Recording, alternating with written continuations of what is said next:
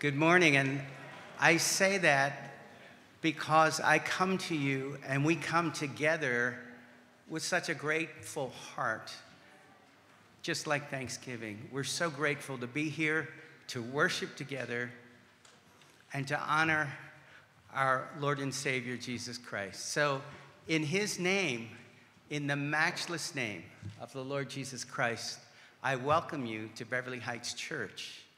If you're visiting with us, we want to extend a warm welcome to you as well. And to those who are watching on our live streaming, we welcome you. And we hope that someday you will be able to come here and worship with us in person. We are delighted as elders to also welcome the Devlin family who are here. Welcome, Devlin family.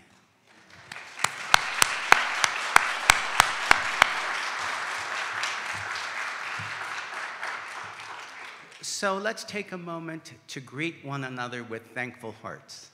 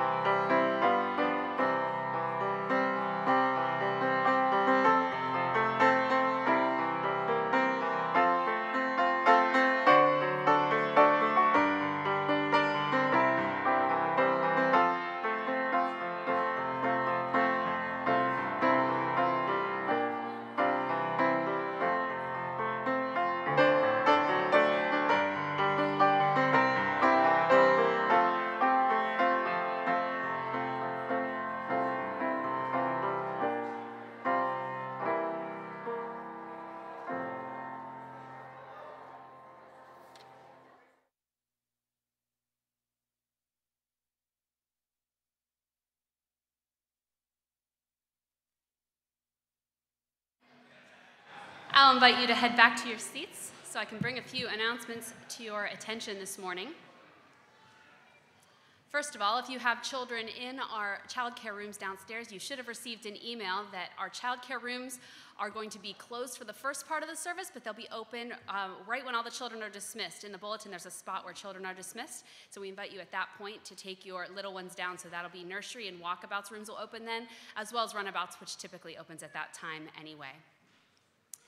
In lieu of our Thanksgiving service on Thanksgiving Day, we will be celebrating Thanksgiving Sunday next week. Since it is not the first Sunday in Advent until December, we have uh, a beautiful Thanksgiving Sunday service planned for you. Well, we're going to um, incorporate some elements of our traditional Thanksgiving service into that. And so we hope you'll be able to be here with us next Sunday. If you're not traveling, uh, we invite you to come and join us on Sunday for worship. And then uh, save the date. I invite you to pick up a copy of Gathered Seeds because some of our Advent events are listed there with some information and save the date information. And so uh, mark your calendars. That first Sunday in Advent, December 3rd, will be our Advent family celebration. Our animals are lined up to be here out on the front lawn.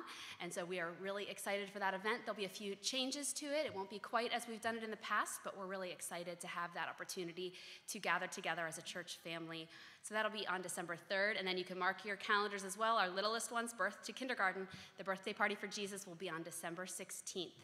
And um, that will be in the morning that Saturday. So we hope you can join us for uh, some of those things, but we are excited um, to celebrate our Thanksgiving with you next Sunday. Thanks.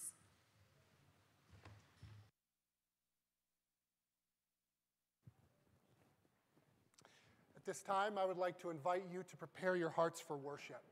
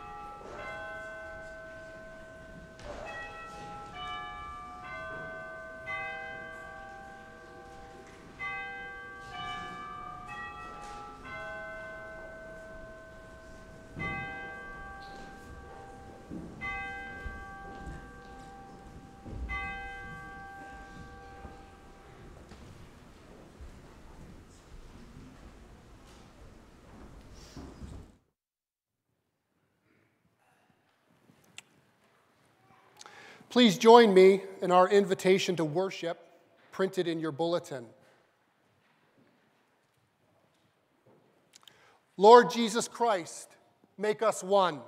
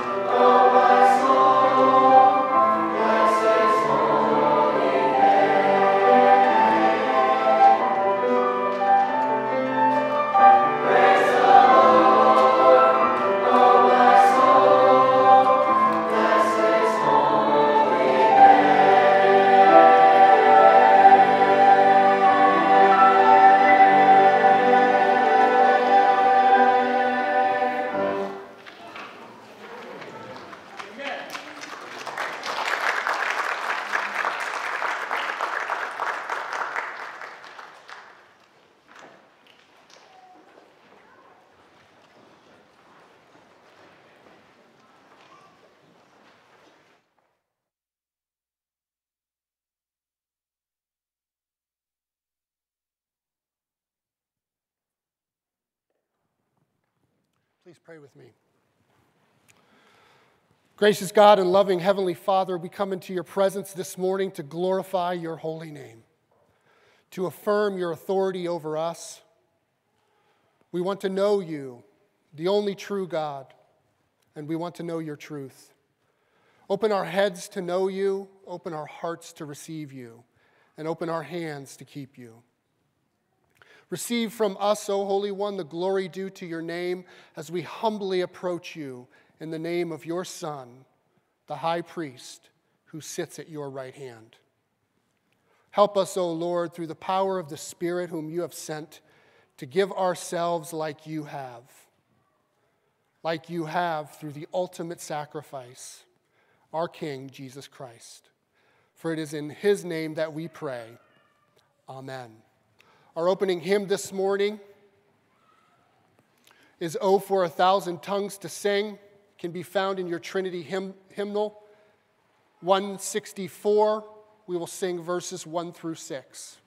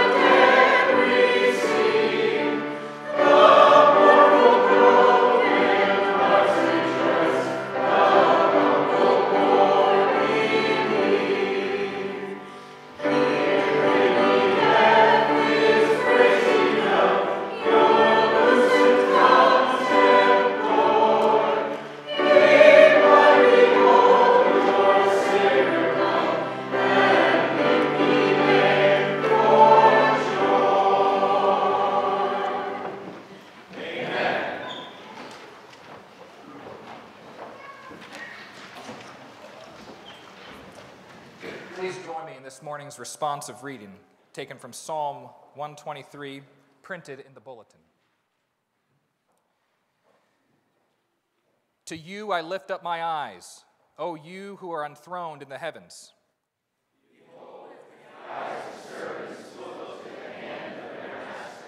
As the eyes of a maidservant to the hand of her mistress. So our eyes look to the Lord. Have mercy on us, O Lord. Have mercy upon us, for we have more than enough of contempt. Our soul has had more than enough of scorn of those who are at ease, of contempt of. Our hymn of worship is taken uh, from the back of the bulletin. Come, bless the Lord.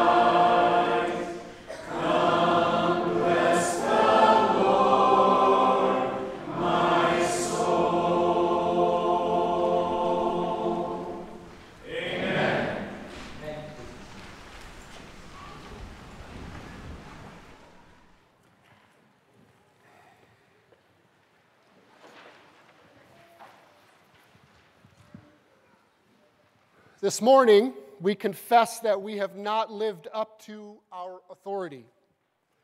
Despite our wise pursuits, we find ourselves in disintegration, disobedience, division, sedition, and sheer selfishness. We are not whole. We are not right. We are not gods who deserve praise, but mere mortals who constantly bring peril upon ourselves. Our Creator has called, covenanted, commanded, and commissioned us to better living. And this morning we come aware, we acknowledge, we accept, and admit our shortcomings and our failings. We come before the throne to publicly confess these shortcomings, our sinfulness, and our sin, in all the ways that we haven't been who we are supposed to be. We will do this this morning in our unison confession of sin, followed by a time of silent confession of sin. Please join me in our unison confession of sin printed in your bulletin. Together. Almighty God, we confess how hard it is to be your people. You have called us to be the church, to continue the mission of Jesus Christ to our lonely and confused world. Yet we acknowledge we are more apathetic than active, isolated than involved, callous than compassionate, obstinate than obedient, legalistic than loving. Gracious Lord, have mercy upon us and forgive our sins. Remove the obstacles preventing us from being your representatives to a broken world. Awaken our hearts to the promised gift of your indwelling spirit. This we pray in Jesus' powerful name. Amen. Please take a few moments for silent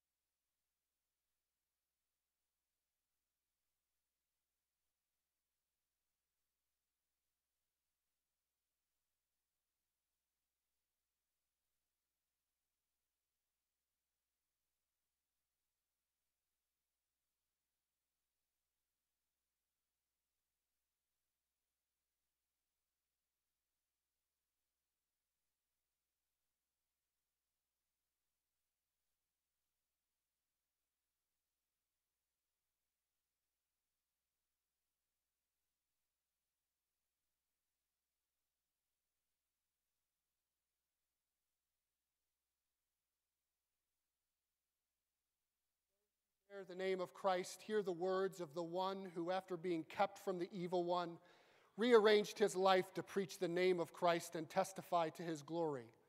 From the Apostle Paul If you confess with your mouth as Jesus is Lord and believe in your heart that God raised him from the dead, you will be saved.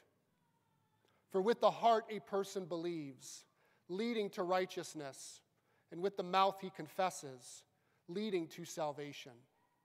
For the scripture says, Everyone who believes in him will not act hastily. For there is no distinction between Jew and Greek, for the same Lord is Lord of all, bestowing his riches on all who call on him.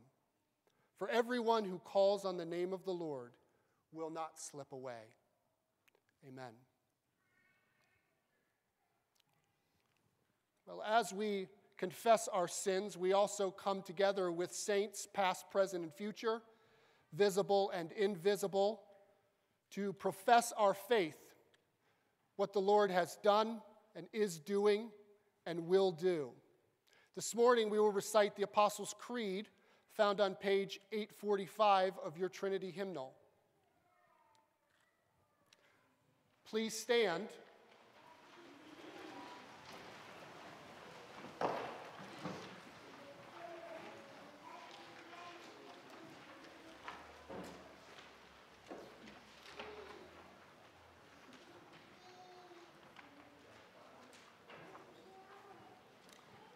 Joining together. I believe in God the Father Almighty, maker of heaven and earth. I believe in Jesus Christ, his only Son, our Lord, who was conceived by the Holy Spirit and born of the Virgin Mary. He suffered under Pontius Pilate, was crucified, died, and was buried. He descended into hell. The third day he rose again from the dead. He ascended into heaven and is seated at the right hand of the Father. From there he will come to judge the living and the dead. I believe in the Holy Spirit, the Holy Catholic Church, the communion of saints, the forgiveness of sins, the resurrection of the body, and the life everlasting. Amen. Our responsive hymn this morning is Christ of all my hopes the ground, found in your Trinity hymnal, page 518. We will sing verses 1 through 3. Thank you.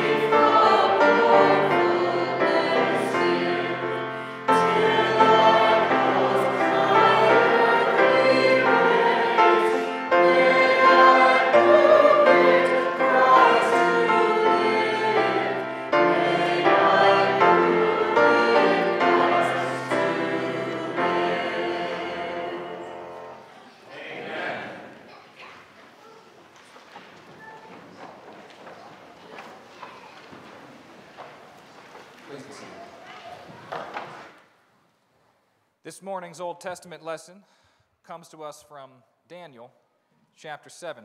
I invite you to follow along in your Bible or a Pew Bible.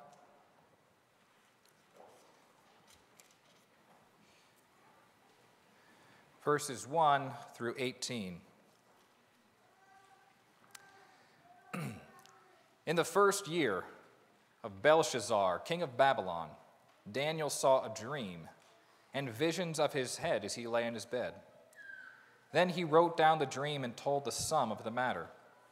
Daniel declared, I saw in my vision by night, and behold, the four winds of heaven were stirring up the great sea, and four great beasts came up out of the sea, different from one another. The first was like a lion and had eagle's wings. Then, as I looked, its wings were plucked off, and it was lifted up from the ground and made to stand on two legs like a man and the mind of a man was given to it. And behold, another beast, a second one, like a bear. It was raised up on one side. It had three ribs in its mouth between its teeth, and it was told, Arise, devour much flesh. After this I looked, and behold, another, like a leopard, with four wings of a bird on its back. And the beast had four heads, and dominion was given to it. After this I saw in the night visions, and behold, a fourth beast terrifying and dreadful and exceedingly strong. It had great iron teeth. It devoured and broke in pieces and stamped what was left with its feet. It was different from all the beasts that were before it, and it had ten horns. I considered the horns, and behold, there came up from among them another horn, a little one, before which three of the first horns were plucked up by the roots. And behold, in this horn were eyes, like the eyes of a man and a mouth speaking great things. As I looked, thrones were placed, and the Ancient of Days took his seat. His clothing was white as snow, and the hair of his head like pure wool. His throne was fiery flames, its wheels were burning fire. A stream of fire issued and came out from before him. A thousand thousands served him, and 10,000 times 10,000 stood before him. The court sat in judgment, and the books were opened. I looked then because of the sound of the great words that the horn was speaking. And as I looked, the beast was killed, and its body destroyed and given over to be burned with fire. As for the rest of the beasts, their dominion was taken away, but their lives were prolonged for a season and a time. I saw in the night visions, and behold, with the clouds of heaven there came one like a son of man, and he came to the Ancient of Days and was presented before him. And to him was given dominion and glory and a kingdom, that all peoples, nations, and languages should serve him. His dominion is an everlasting dominion which shall not pass away, and his kingdom one that shall never be destroyed. As for me, Daniel, my spirit within me was anxious, and the visions of my head alarmed me. I approached one of those who stood there and asked him the truth concerning all this. He told me and made known to me the interpretations of the things. These four great beasts are four kings who shall arise out of the earth. But the saints of the Most High shall receive the kingdom and possess the kingdom forever and ever. This is the word of the Lord. Thanks be to God.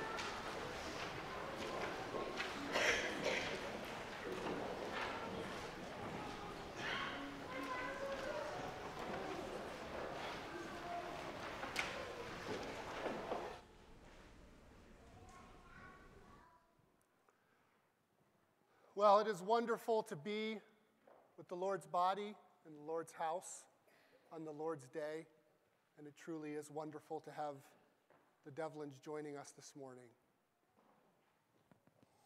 We are continuing in our series in the Gospel of John, that you may be one. This morning, our text is John 17, verses 1 through 19. I invite you to follow along in your own Bible or either a Pew Bible. And if you are able, please stand for the reading of God's Word.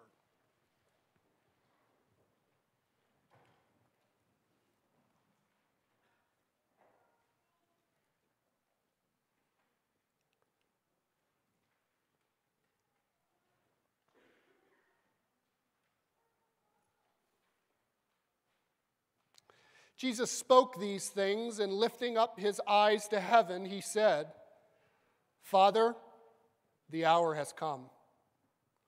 Glorify your Son, that the Son may glorify you. Even as you gave him authority over all flesh, that to all whom you have given him, he may have eternal life. And this is eternal life, that they may know you the only true God, and Jesus Christ, whom you have sent. I glorified you on the earth, having finished the work which you have given me to do. Now, Father, glorify me together with yourself, with the glory which I had with you before the world was. I have manifested your name to the men whom you gave me out of the world. They were yours, and you gave them to me, and they have kept your word. Now they have come to know that everything you have given me is from you. For the words which you gave me, I have given to them. And they received them and truly understood that I came forth from you. And they believed that you sent me. I asked on their behalf I do not ask on behalf of the world, but of those whom you have given me, for they are yours. And all things that are mine are yours, and yours are mine, and I have been glorified in them. And I am no longer in the world, and yet they themselves are in the world. And I come to you. Holy Father, keep them in your name the name which you have given me, that they may be one even as we are. While I was with them, I was keeping them in your name, which you have given me. And I guarded them, and not one of them perished, but the son of perdition, so that the scripture would be fulfilled. But now I come to you. And these things I speak in the world so that they may have my joy made full in themselves. I've given them your word, and the world has hated them. Because they are not of the world, even as I am not of the world. I do not ask you to take them out of the world, though, but to keep them from the evil one. They are not of the world, even as I am not of the world. Sanctify them by the truth. Your word is truth. As you sent me into the world, I also sent them into the world. For their sake, I sanctify myself, that they themselves also may be sanctified in truth. Heavenly Father, we thank you for your word, and we ask that you would open our eyes to see. That you would be present in our midst and enlighten us so that we may apply your word in our lives. For it's in Jesus' name we pray. Amen. Please be seated.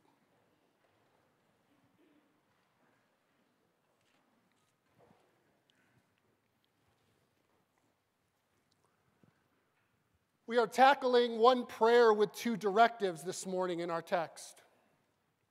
In the first, verses 1 through 5, Jesus is praying for himself. Essentially, he is asking the Father that he would give him what he needs, but not for self directed purposes. He wants to be glorified by the, by the Father so that he can, in turn, glorify the Father. Give unto me so that I may give unto you. In the second directive, verses 6 through 19, Jesus prays that his disciples would get what they need. The Son is coming to the Father, and Jesus prays that the Father would guard and protect his disciples when he leaves. They need to be one, as the Father and the Son are one. Keep them, Father, so that they may do my work when I leave. This morning, we will focus on the second directive of this prayer, this priestly prayer. The hour has come in verse 1 as we see that the Son is going back to the Father. Before he does, he is coming to the Father in, in prayer on behalf of his disciples. As the Son, he has the authority to do so. He's in a special position. He has special footing to ask for their unity. We read in verse 10 that what is the Father's is the Son's, and what is the Son's is the Father's. The Son can ask anything from the Father, and the Father will give it to him, as Martha notes in a few chapters previously. Jesus' disciples are the Father's too. And as their rabbi, their Messiah, their Lord, their high priest, all designations throughout the Gospel of John, Jesus asks for the Father to keep them and make them one. In a sense, as he's leaving them, he's handing them back over to the Father. He has kept them, he has protected them, and now he is handing them back to the Father. And the Father needs to keep, him, keep them, just as Jesus has kept them, as we read in verse 12. These are not strangers of the world, but they are those whom the Father once gave to the Son. He knows them, and they know Him. And so, in the absence of the Son, when He is no longer with them, they need protection. They need unity. And Jesus is asking the Father to keep them. But what he's really asking is to guard and watch over them, to make sure they are safe. Do not let any of them perish, for they are yours, Father. Receive them. Now, what's interesting is to keep them safe, Jesus is not asking the Father to take them out of the world. It is not their hour to ascend, but the Son's, as we read in verse 15. And mind you, his ascension is not an escape. They are in the world, they're not of it, but Jesus is sending them into the world. They are in the world, but they are not of it. But Jesus is sending them into the world. But they must and they have to be guarded from the evil one. Just as the Father sends the Son into the world to save it, so the Son sends his disciples into the world to preach the good news of salvation. And as they preach, because the world does not receive the gift of this word, his disciples are hated, as we read in verse 14. They need to be protected, they need to be comforted, they need to be guarded from the world and the evil one. As the Son has kept what the Father has given to him, now the Son asks the Father to keep that which the Son gives back to him. If the Father keeps them, they may be one as the Father and the Son are one, as we read in verse 11. The Father and the Son are united in a giving of back and forth. And so God's people are united in a giving of back and forth. Before the Son leaves, he makes sure his disciples have everything they need to do.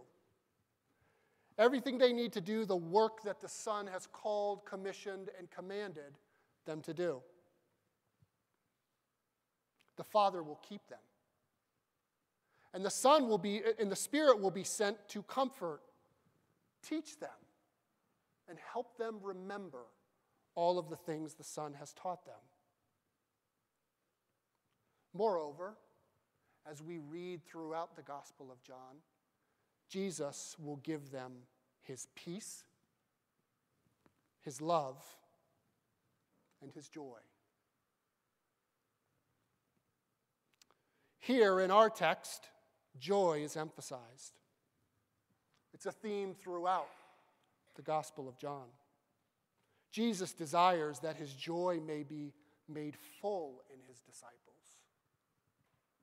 And what's so interesting about the word joy in this text and in any text in the New Testament is the link between joy and grace.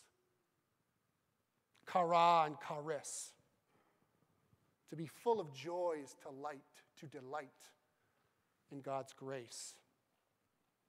So, in the midst of the world's hatred and the roaming of the evil one, Jesus quite literally desires for his disciples to be crammed with joy,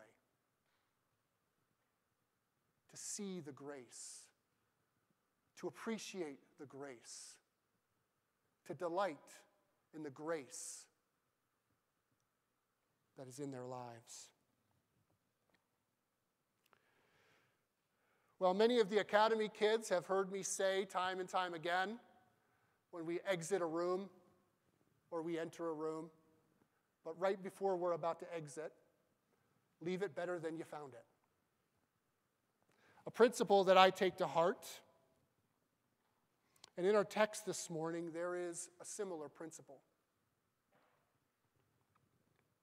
That as the Father and Son are giving and giving back, there is a way in which the Son always gives things back better, better than He found them.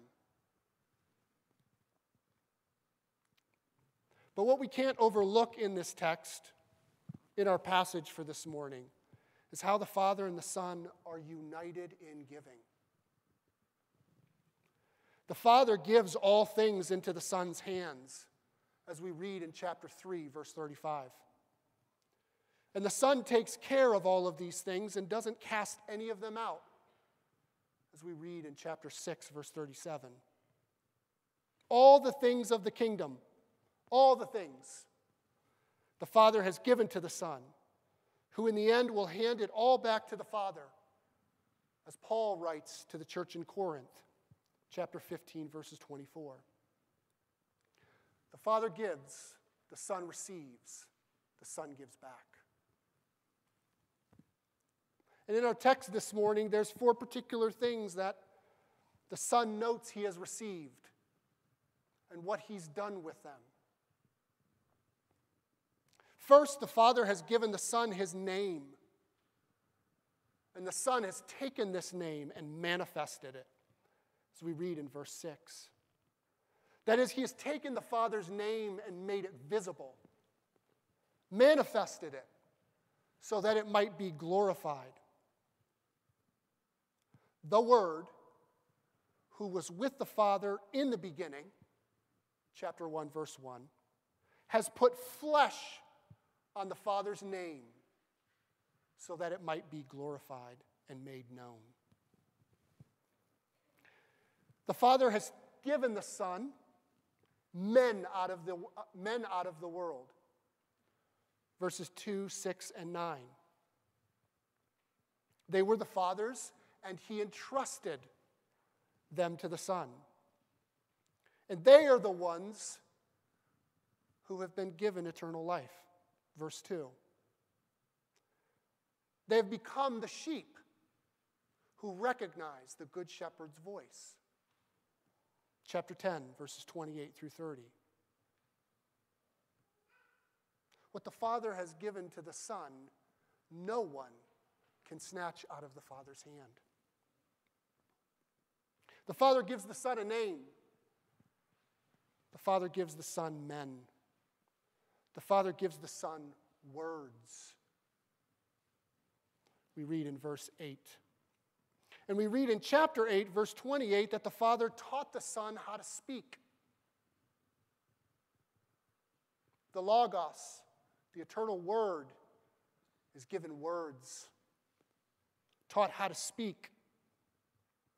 And then in turn, the Son gives these living words to his disciples in verse 8. He takes the Word as the Word and gives life to his disciples. And they receive this word and they take it in and live by it.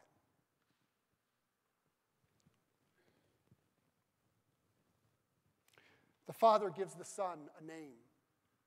The Father gives the Son men. The Father gives the Son words. And the Father gives the Son work to do.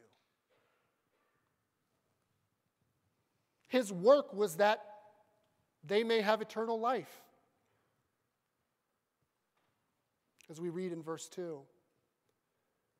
His work was to do the will of his Father who sent him. In chapter 4, verse 34, Jesus says that the work of the Father was his food.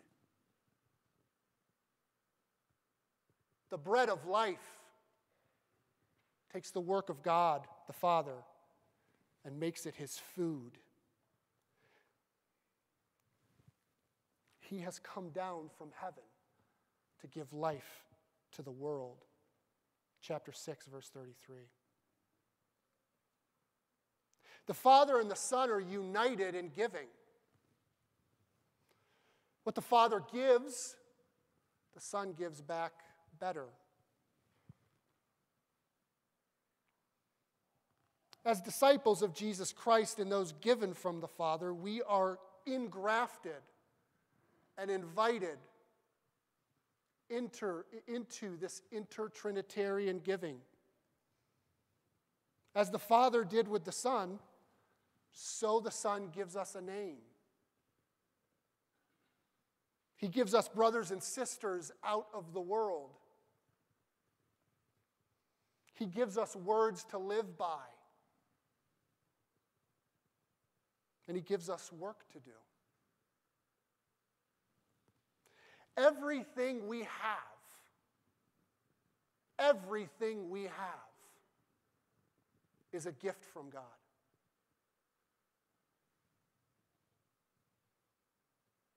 Every good and perfect gift comes from Him, James notes. The earth and its fullness the psalmist notes. All riches and all honor, King David notes. The days we live and the power we have to enjoy them, gift from God. Solomon notes.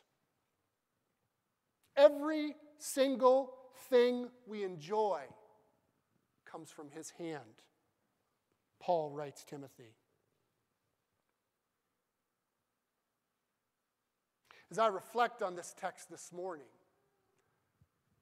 and the relationship that the Father has to the Son, and the call and the command that Jesus commissions to his disciples.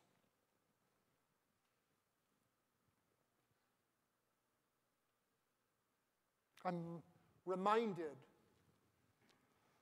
of when Jesus said, It is more blessed to give than to receive. As we enter into a time of thanksgiving and waiting and anticipating our Savior, Do you believe that he was right when he said it is better? It is more blessed to give than to receive. Acts 20 35. And it gets me wondering and thinking about how I hold his gifts.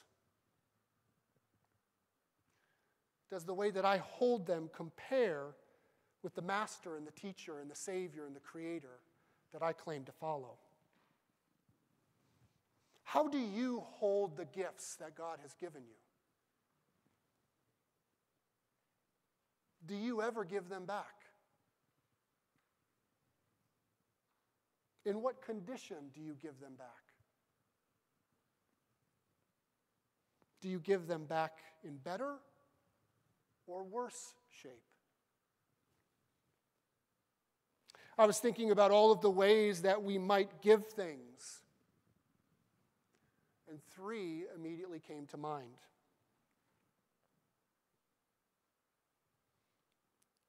We can give back begrudgingly. We can give back indifferently. And we can give back generously. We give back begrudgingly when we hold onto things tightly. When we mistake his gifts for our possessions. We don't want to give them up. They've become ours. And we'll make any excuse to justify our apprehension. These are my kids, mine. If I did share with him, he probably wouldn't appreciate it. He wouldn't appreciate it as much as I do. You might say we have a pearl before swine outlook. We can also give indifferently. We hold onto things too loosely. We mistake really, really good gifts for worthless materials, things to be jettisoned. Not that significant. And yet, they are gifts from God. We don't care about something, and so we easily give it up. We squander it, we neglect it. Eh, it's just a job. That's just my opinion.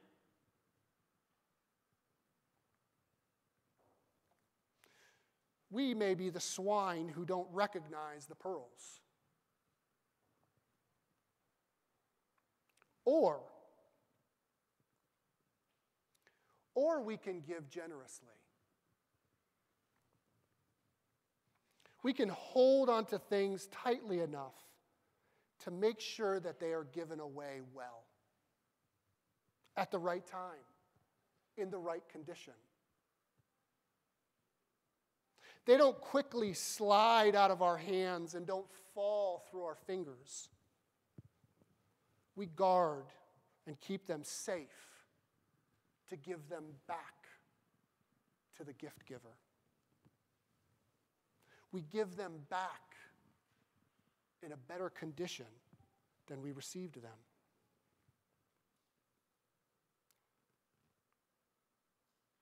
Jesus Christ is our Creator. He is our Savior, and He is our King. And as we read in Colossians, He has made everything. And as we read throughout all of Scripture, He has sacrificed and given everything. He upholds all things and makes all things possible. What do we have that He has not given? What do I have? What do you have that He has not given? What do we have that we are unwilling to give back?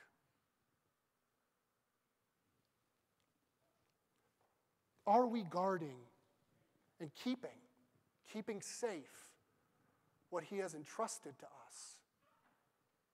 Or are we hoarding? Are we squandering? Are we neglecting?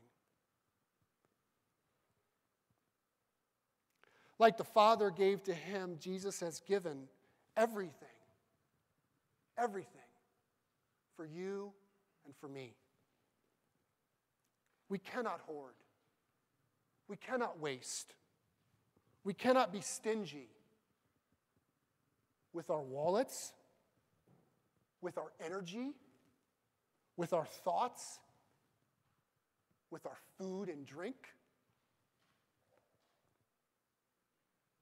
We have to guard and keep these gifts that He has entrusted to us so that we may return them generously, better than we found them, more than what we received. My friends, if you are not tithing, you need to do so. If you're not serving your family and giving them due attention when you get home, you need to do so. If you're not thinking of creative ways to bless those around you, you need to do so.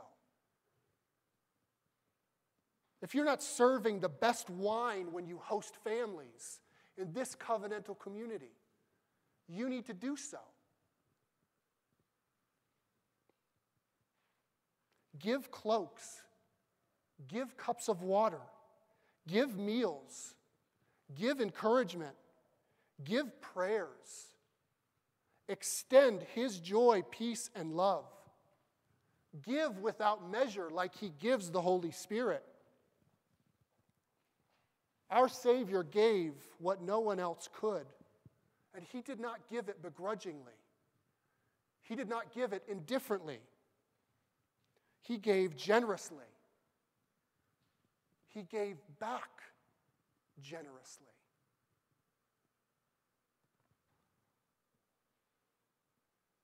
I want to glorify his name. Do you? Do you want to be one with him? I do. Do you want to follow him? I do.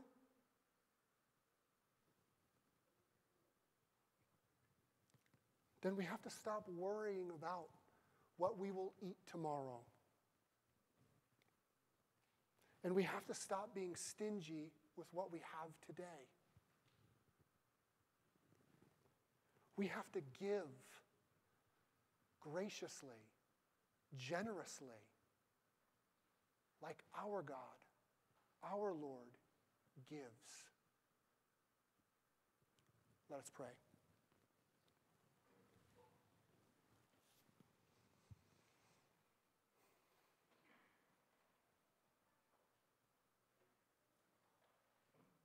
Lord Jesus Christ, we are grateful for the greatest gift that you could ever give. And Lord, we are grateful that you did not leave us alone. You have not left us alone. But you have sent your Spirit as the comforter, as the advocate. Lord, you have given us a name. You have given us work to do. You have given us a covenantal community.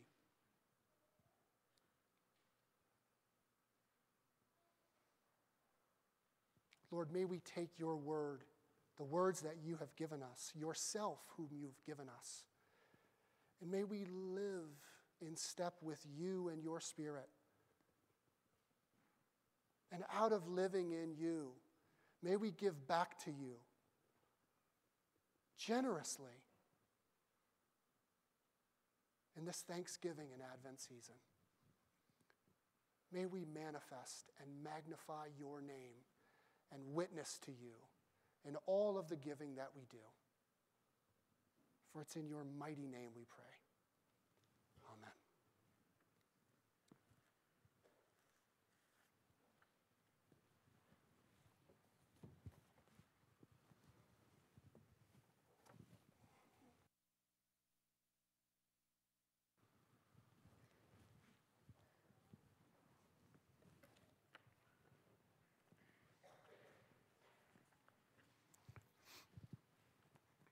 At this time, I would like to call forward our ushers to receive this morning's offering.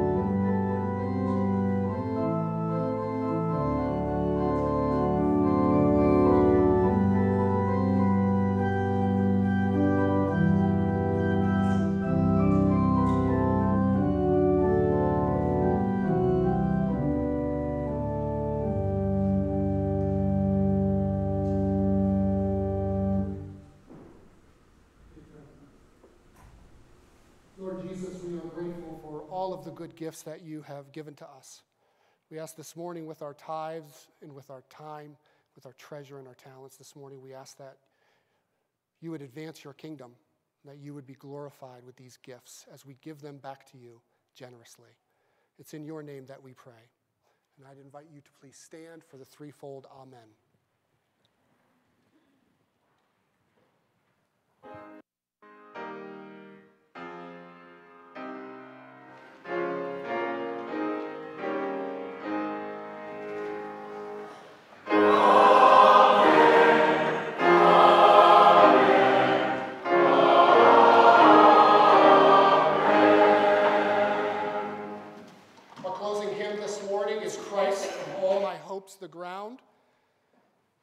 Find it in your Trinity hymnal, number 518. We'll sing verses 4 and 5.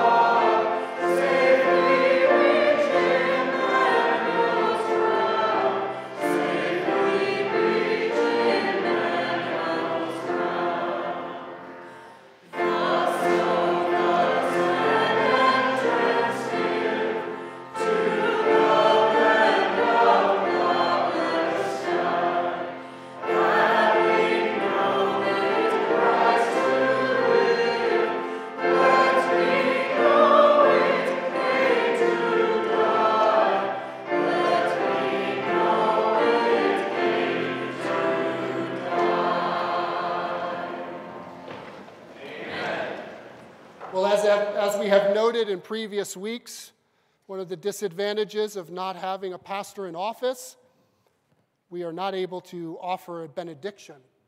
But hear the words of the Apostle Paul from the book of Romans. May the God of endurance and encouragement grant you to live in such a harmony with one another in accord with Christ Jesus, that together you may, with one voice, glorify the God and Father of our Lord Jesus Christ. Therefore, welcome one another as Christ has welcomed you for the glory of God. Go in peace.